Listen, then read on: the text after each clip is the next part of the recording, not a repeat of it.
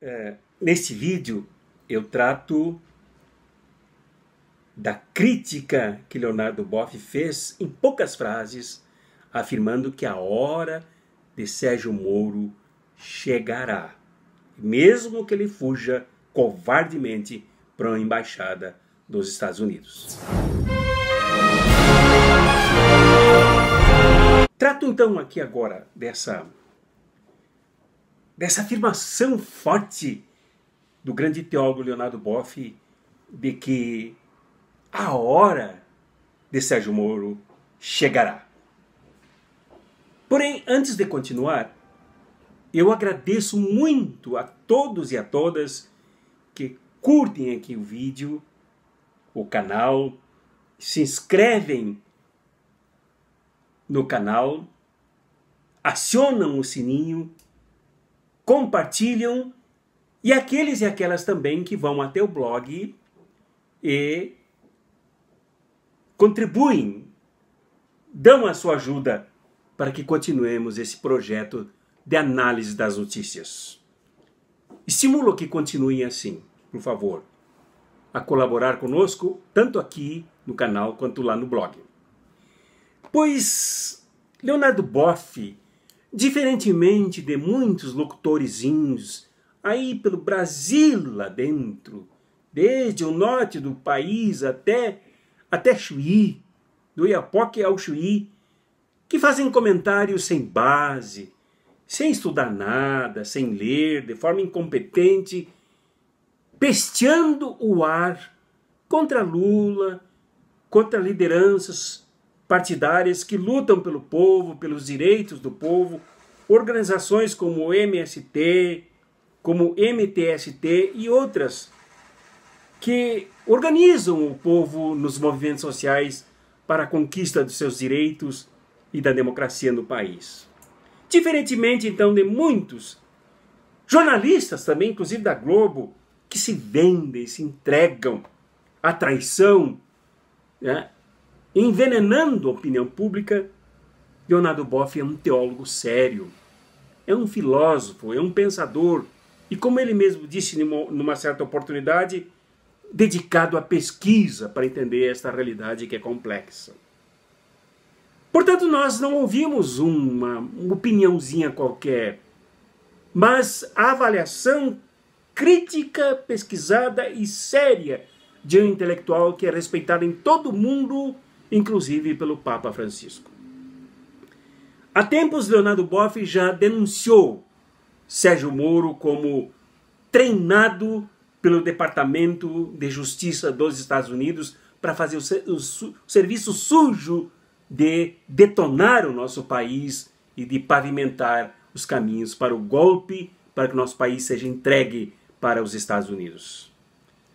Pois é, essa política de, de Sérgio Moro, que não é justiça o que ele faz, é política da pior espécie, de perseguir Lula e perseguir tantas pessoas sem investigação, sem provas, condenando-as.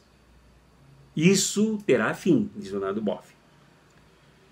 A história nunca, nunca, a história da injustiça nunca triunfou. A história humana não acolhe eternamente a injustiça. Um dia ela chega ao fim. E por que, que chegará ao fim? Porque Sérgio Moro é covarde. Ele se protege, ele se blinda nos apoios da Globo e todo o seu complexo de rádio, revista, jornal e TV. Mas na hora mesmo pega, diz Leonardo Boff, ele correrá para uma embaixada dos Estados Unidos para fugir, para ser protegido pelo império que promove tantos males nesse mundo e também, de novo, no Brasil. Porque também a prática vivenciada de Sérgio Moro, aplicada nos seus julgamentos, é prática que distorce o direito, distorce a lei, usa a lei para perseguir as pessoas sem o devido processo legal. Diz Leonardo Boff que ele acusa, e esse é papel da promotoria, mas ele acusa, Ele investiga, exercendo o papel da polícia, e pune com o mesmo método da Inquisição que atingiu Leonardo Boff, e ele sabe muito bem, não só de estudos, mas por experiência própria, quanto este método é injusto, porque ele atende a, a só, só atende interesses da classe e da elite dominantes. E para completar, Leonardo Boff, que não fala no vazio, não fala só por falar, não move a língua no ar dentro da boca sem conteúdo. Vem em seu socorro o advogado, o ex-advogado da Odebrecht, Rodrigo Tecla Duran, mostrando o lado obscuro, o lado podre, o lado maléfico, o lado satânico da Lava Jato e, por consequência, desse senhor Sérgio Moro. Que viaja aí pelo mundo, ele não trabalha, ele não trabalha, ele viaja pelo mundo, ora se junta com João Dória, que é outro, é outro da Laia, é outro da Laia, da Laia dele. Depois vai a Mônaco, receber prêmios, fazer festas. Né? Ele vive viajando pelo mundo aí para receber lauréis e aplausos dos opressores a quem ele serve. Porque este senhor Sérgio Moro, que está com os dias contados enquanto, enquanto juiz, fazendo tantas injustiças, esse senhor só serve aos interesses dos inimigos do Brasil, dos pobres, da justiça e da verdade. Ele um dia terá fim. Isso acabará. Isso um dia terminará.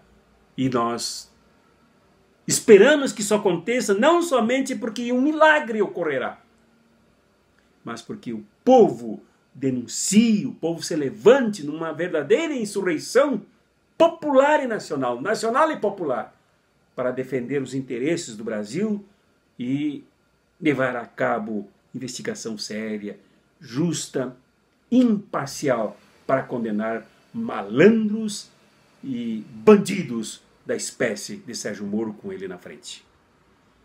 Obrigado, grande teólogo Leonardo Boff, pela sua contribuição de fé humana, solidária, como um teólogo, como eu digo lá no meu blog, comentando esse mesmo assunto, um teólogo comprometido com o povo que não fica em gabinete adivinhando o que acontece no mundo, mas se mistura com o mundo para realmente conhecer a realidade. Então ele fala de cadeira, ele fala por conhecer mesmo a realidade do que esse maldoso, do que satânico Sérgio Moro faz.